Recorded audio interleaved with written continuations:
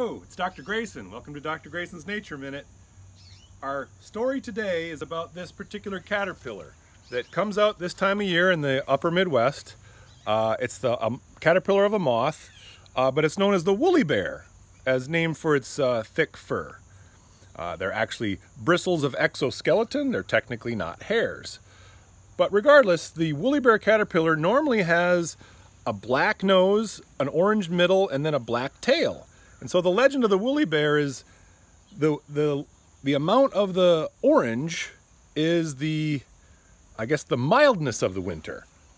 So what this tells us, according to the legend, is with almost no black, we're going to have a very mild winter. So this is the woolly bear caterpillar. Common around you if you live in the upper Midwest. Uh, take a look at the ones around you and see what your winter is going to be like. Hi, it's Dr. Grayson. Be sure and like my videos and subscribe to my YouTube channel.